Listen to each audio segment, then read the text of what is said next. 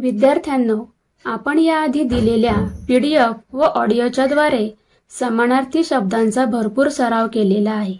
तर आता आपण या व्हिडिओच्या आधारे या घटकावर विचारल्या जाणाऱ्या प्रश्न प्रकारांचा सराव करूया.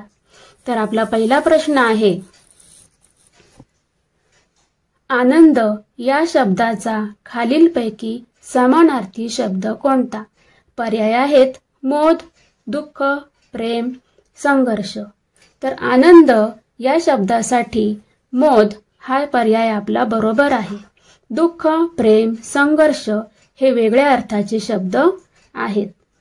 मोद हा पर्याय बरोबर असल्यामुळे आपण एक नंबरचे वर्तुळ येथे रंगवायचे आहे.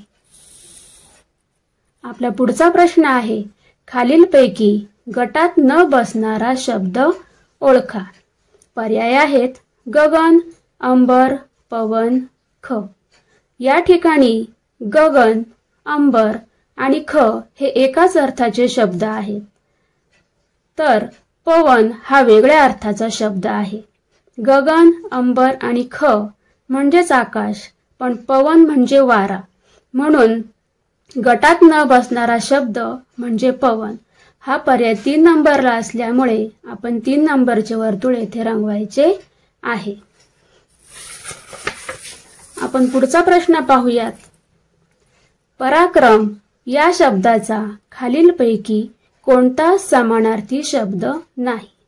पर्याय आहेत आनंद शौर्य विक्रम प्रताप. तर पराक्रम या शब्दासाठी समान अर्थी नसलेला शब्द आपल्याला शोधायचा आहे.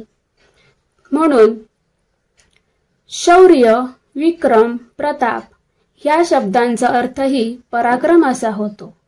परंतु आनंद या शब्दाचा अर्थ पराक्रम होत नाही. म्हणून आनंद हा शब्द पराक्रम या शब्दासाठी समानार्थी शब्द नाही. म्हणून आपला पर्याय क्रमांक एक येथे बरोबर आहे. म्हणून आपण एक नंबरचे वर्तुळ येथे रंगवायचे आहे. पुढचा प्रश्न पाहूया. ठपका या शब्दासाठी खालीलपैकी समानार्थी नसलेला शब्द कोणता? पर्याय आहेत डाग संताप कलंक काळीमा. तर ठपका या शब्दासाठी डाग कलंक आणि काळीमा हे याच अर्थाचे शब्द आहेत. ठपका या शब्दासाठी समान अर्थाचे शब्द आहेत. परंतु संताप या शब्दाचा अर्थ ठपका असा होत नाही. म्हणून आपला पर्याय क्रमांक दोन येथे बरोबर आहे. म्हणून आपण येथे दोन नंबरचे वर्तुळ रंगवायचे आहे.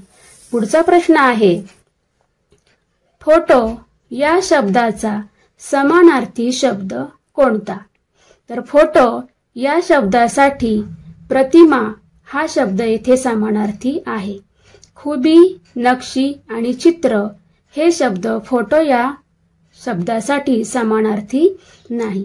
म्हणून आपल्या येथे पर्याय क्रमांक चार बरोबर आहे.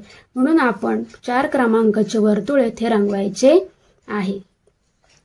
तर विद्यार्थ्यांनो अशा प्रकारे आपण समानार्थी शब्द या घटकावर आधारित वेगवेगळे प्रश्न प्रकार पाहिले. याप्रमाणे तुम्ही आणखी काही प्रश्नांचा सराव करावा. धन्यवाद.